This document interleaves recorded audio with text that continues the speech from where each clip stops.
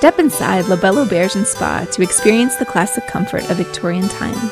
Located in the quaint town of Wellsboro, our accommodations offer elegant rooms, each with their own unique style and design, with private baths and jacuzzis.